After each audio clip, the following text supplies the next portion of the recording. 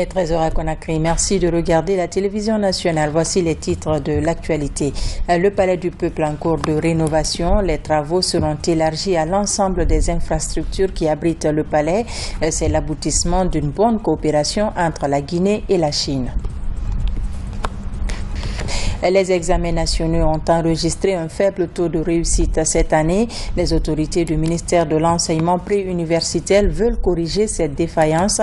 Une remise à niveau est organisée à l'intention des enseignants en salle d'examen. Lutte contre la déforestation, l'utilisation des foyers améliorés est sollicitée. À Forécaria, plus de 500 foyers améliorés ont été distribués aux populations. C'est tout pour les titres. Ah, bonjour et merci de nous rejoindre sur la télévision nationale. Le chef du gouvernement poursuit sa tournée dans les départements ministériels. Dr Bernard Gomou s'est rendu successivement au ministère de l'enseignement technique, des affaires religieuses et celui du commerce. Il est venu s'enquérir de l'état d'avancement des différents projets avant la fin de l'année. Hadi Kamara. Le Premier ministre chef du gouvernement commence ses visites ce matin au ministère de l'enseignement technique et de la formation professionnelle ici à Taouya dans la commune de Ratouma. Le ministre Alpha Boubacar Bari accueille Dr Bernard Goumou. Au cours des échanges, le chef du département réitère son engagement à faire de ce secteur l'un des piliers forts de la politique de lutte contre le chômage des jeunes à travers le renforcement des capacités des infrastructures et équipements et le développement des compétences des ressources humaines. Plusieurs pro projets euh, vont voir le jour d'ici le 31 décembre ou se consolider. Il s'agit notamment dans le cadre du digital de la mise en activité d'une plateforme de e-learning pour nos compatriotes, pour nos élèves. Ensuite, c'est la finalisation de la rénovation et l'extension euh, des 15 écoles euh, techniques et de formation professionnelle. Et puis, il s'agit de la formation d'au moins 500 enseignants euh, en technique pédagogique, en, formation initiale euh, ou en master pour ceux qui sont dans les écoles normales d'instituteurs et être déployés dans ces écoles. Après le ministère de l'enseignement technique et de la formation professionnelle, ce fut le tour du secrétariat général des affaires religieuses. Elaj Karmoko Diawara et son cabinet reçoivent le Premier ministre et Dr Bernard Goumou est informé du mode de fonctionnement du secrétariat général des affaires religieuses. Nous avons échangé réellement les manquements au niveau du secrétariat général des affaires religieuses. Le Premier ministre était très très très pragmatique et réaliste. Lui-même, il dit qu'il a envisagé que le secrétariat général des affaires religieuses n'a pas un siège de digue de nom comme les autres pays, dans les sous-régions, dans les pays du monde, etc. Donc il faut qu'il y ait un l'environnement de travail. Donc c'était ses premières remarques d'abord en rentrant ici. Nous envisageons de répertorier toutes les mosquées et toutes les églises de Guinée au cours de l'année 2023. Avant de clôturer les visites des départements ministériels de ce mardi 13 septembre, le Premier ministre s'est rendu au ministère du Commerce, de l'Industrie et des petites et moyennes entreprises. Les échanges ont porté essentiellement sur la promotion, l'organisation de la commercialisation des produits guinéens et le renforcement des mécanismes de distribution et de fixation des produits et services à réglementation. À cela, il faut ajouter les opportunités de création et de développement des productions industrielles en vue de répondre aux évolutions de la demande nationale et internationale. Nous avons rappelé euh, les objectifs de la lettre de mission, les objectifs du département qui, entre autres, sont quand même de suivre euh, l'évolution de la cherté de la vie, euh, suivre aussi l'activité d'industrialisation du pays, suivre aussi l'accompagnement des PME et tous ces éléments ont été évoqués afin de savoir à quel niveau nous nous soutions dans l'avancement de ces travaux. Dans tous les départements ministériels visités, les préoccupations trouvent un écho favorable chez le Premier ministre Dr Bernard Goumou qui promet de mettre tout en œuvre afin de rendre à l'administration toutes ses lettres de noblesse. Et puis cette visite guidée sur les chantiers du Palais du Peuple de Conakry, le projet de rénovation en cours va toucher l'ensemble des infrastructures qui abritent le palais. Le projet est financé par la coopération chinoise ainsi que l'État guinéen. Fatoumata Kourouma, Kaba Magasuba, Mamadou Bayansane. Situé à la rentrée de la presqu'île de Kaloum, le palais du peuple de Conakry est l'un des plus grands bâtiments publics de Guinée. Il abrite l'Assemblée nationale, le CNT actuellement et accueille la plupart des grandes rencontres nationales et internationales en Guinée. Ce patrimoine est construit en 1967 grâce à la coopération sino-guinéenne. La convention, depuis cette date, donne à la Chine la rénovation d'une partie du palais après chaque dix ans. Le président de la transition, le colonel Mamadi Doumbouya, depuis son arrivée à la tête de l'État guinéen, a mis le réaménagement de plusieurs bâtiments historiques au cœur de ses priorités, dont celui du Palais du Peuple, qui lui reste attaché. Cette imposante construction et son administration sont en effet directement rattachées au service de la présidence de la République. Ici, dans la salle mythique des congrès, tout est aujourd'hui en mauvais état. Et le projet de rénovation en cours touchera les portes, le carrelage, les fauteuils, la sonorisation ainsi que la climatisation. Ibrahim Kamara est administrateur du Palais du Peuple. Il revient ici sur les motivations et l'urgence de la rénovation de ce patrimoine historique. Vous n'êtes pas sans savoir que le Palais du Peuple a été construit depuis 1967, qui est vraiment le symbole de la Guinée. Il y a la coopération chino-guinéenne avec laquelle on travaille très souvent. Aujourd'hui, ils sont en train de rénover la salle des congrès que vous êtes en train de voir. En annexe, tout ce qui reste maintenant, les autres rénovations, c'est sous fonds propres du président de la République, le colonel Mamadi Doumbouya. Outre la salle des congrès, la fontaine inopérationnelle depuis près de 20 ans, ainsi que la salle des banquets, figurent également dans le projet de réaménagement du Palais du Peuple et cette partie sera totalement prise en charge par l'État guinéen. Le Palais du Peuple fait quatre niveaux. Historiquement, on avait quatre suites en haut où le président Feu Ahmed recevait ses hôtes. Il y a la salle des banquets où on faisait les festivités. Donc elle est aussi en rénovation. On a la salle des actes. Le Palais du Peuple aujourd'hui, on a plus de 99 bureaux occupés par le CNT à 90%.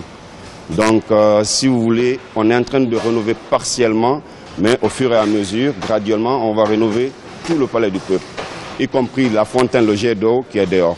Le pavillon présidentiel de même que l'historique salle du 28 septembre, ont pour leur part été restaurés récemment. Ainsi, dans deux mois environ, un palais réhabilité avec un nouveau visage sera mis à la disposition des Guinéens. Ces différentes actions entrent en ligne droite de la démarche du chef de l'État de léguer au peuple guinéen des infrastructures dignes avec une vision attrayante et de qualité. Le 13 septembre de chaque année, l'Afrique célèbre la journée africaine de la technologie et de la propriété intellectuelle. Des avancées sont notées dans les pays membres de l'OAPI, dont la Guinée, afin de soutenir et encourager la création d'entreprises pour valoriser le potentiel technologique des institutions publiques ou privées, propriété intellectuelle, levier de l'industrialisation et de la diversification économique en Afrique. C'est le thème retenu cette année. À cet effet, voici la déclaration de la ministre du Commerce, de l'Industrie et des petites et moyennes entreprises. Commentaire Abdul Karim Kamara. L'Afrique face aux défis de la recherche technologique et industrielle. La 23e journée africaine de la propriété intellectuelle coïncide avec la mise en place de politiques et stratégies y afférentes. En Guinée, par des sensibilisations, inventeurs, chercheurs et autres acteurs de la créativité sont édifiés sur le rôle que joue la propriété intellectuelle et l'innovation dans le développement technologique et industriel. Cette célébration est l'occasion pour les États de mieux faire connaître les missions de l'OAPI au grand public et d'analyser avec la société civile et les partenaires au développement les politiques, les stratégies et les pratiques impliquant la propriété intellectuelle et la technologie en vue de parvenir à une diversification de nos économies. Le thème retenu pour cette journée est propriété intellectuelle, levier de l'industrialisation et la diversification économique en Afrique. Pour réussir ce pari, l'accent est mis sur la lutte contre la contrefaçon et la concurrence déloyale. À ce titre, la Guinée a d'ailleurs adopté un texte conjoint sur les motifs du textile traditionnel. Le pays est aussi en phase de développer un projet dénommé Centre d'appui à l'innovation et à la technologie. la vision de son Excellence colonel Mamadi Doumbouya, président de la transition, consistant à privilégier l'amélioration du bien-être de nos populations, a conduit le gouvernement du Premier ministre, son Excellence Dr Bernard Goumou, à utiliser la propriété intellectuelle comme un outil stratégique de développement. Mon département s'emploie actuellement en coopération avec l'Union européenne dans le cadre du projet AFRIPI à l'instauration d'une plateforme de collaboration entre la propriété intellectuelle, les universités, la recherche et le secteur industriel avec pour objectif de stimuler la création de nouvelles entreprises innovantes, source de nouveaux emplois. Le volet vulgarisation portant sur les indications géographiques a permis à la Guinée d'obtenir la labellisation du café Ziama, sans oublier celle de l'ananas baronne en cours. À ce jour, près de deux tiers des marques de produits et de services font l'objet de protection par la propriété intellectuelle. La concertation entre une mission du ministère des Affaires étrangères, opérateurs économiques et soldats de l'économie de Bouquet. Il a été question de débattre des avantages liés aux échanges commerciaux au sein de la CDAO et la promotion de la coopération internationale. Younous Atawel. La région de Bouquet fait frontière avec certains pays membres de la CDAO comme le Sénégal et la Guinée-Bissau. Dans la transaction commerciale le long de ces frontières, les opérateurs économiques rencontrent souvent des difficultés, d'où la présence d'une mission du ministère des Affaires étrangères dans la préfecture. Il s'agit d'informer et sensibiliser les commerçants et les douaniers sur la nécessité de la création de cette organisation ouest-africaine. C'est de permettre à nos opérateurs de connaître leurs droits et leurs obligations. Et cet instrument est fait pour les opérateurs, les commerçants, les femmes qui exercent le commerce transfrontalier. Donc, ils doivent être informés pour leur permettre d'en bénéficier. La libre circulation des personnes et des biens dans les pays membres de la CDAO, la promotion de la coopération internationale, mais aussi les protocoles et les conventions entre les 15 pays membres sont entre autres sujets débattus au cours de cette rencontre de Bouquet. nous a permis de savoir la place de la Guinée par rapport à la CDAO au niveau des exportations et des importations. Nous avons le décideur, les commerçants, les industriels, les entrepreneurs. Chacun de nous doit jouer son rôle. Le ministère des Affaires étrangères a voulu venir à l'intérieur du pays pour venir expliquer effectivement les tracasseries que nos commerçants subissent durant le transport de leurs marchandises. Par cette initiative du ministère des Affaires étrangères, les commerçants et les douaniers ont bien cerné le rôle que chacun doit jouer désormais dans le cadre du respect des conventions. C'est parti pour deux semaines de renforcement de capacité des médecins pathologistes et techniciens de laboratoire au compte de nouvelles approches de traitement du cancer. Humo-histochimie est la méthode de détection des cellules cancéreuses qui sera enseignée à ces spécialistes. Tierno Maroufba, Mariam Kamara. Ils sont tous issus des CHU de Donka, Ignace Diné de l'hôpital de l'amitié sino-guinéen de Kipé. Ces médecins pathologistes et techniciens de laboratoire se retrouvent pour approfondir leurs connaissances sur une méthode de traitement du cancer jamais utilisée en Guinée, l'humohistochimie. Le partage de cette méthode de localisation des cellules cancéreuses est rendu possible par des experts français. Cette formation théorique et pratique sur cette méthode est la concrétisation d'une longue attente. Un outil qu'on apporte qui est à la fois diagnostic, donc permettra de faire les diagnostics affinés pour les cancers, orienter les traitements pour les patientes, à savoir est-ce qu'elles vont bénéficier d'une chirurgie ou est-ce qu'elles vont bénéficier d'une hormonothérapie, etc. Forme ces techniciens et ces médecins, eux aussi à leur tour, ils vont former d'autres. Mais pour pérenniser, il ne faut pas qu'il y ait rupture au niveau des consommables surtout les consommables, les anticorps. Ces anticorps coûtent excessivement cher, donc il faudrait bien que l'administration de l'hôpital continue à y veiller. Ces experts pathologistes et techniciens de laboratoire vont durant deux semaines toucher tous les aspects de l'humohistochimie. Le but de cette remise à niveau est de permettre d'améliorer le traitement du cancer en Guinée. L'autre avantage reste la réduction du coût de traitement de cette pathologie. L'humohistochimie, c'est quelque chose de très important. Le gain pour le patient, pour l'hôpital, parce que ça fait beaucoup moins de, jours euh, d'hospitalisation et pour les patients et pour la, famille, parce que tout ça c'est la famille qui paie. C'est des examens qui coûtent excessivement cher, c'est la vérité, et les consommables sont très chers. Et c'est des consommables qui ne viennent même pas en France directement, il faut passer par les Américains.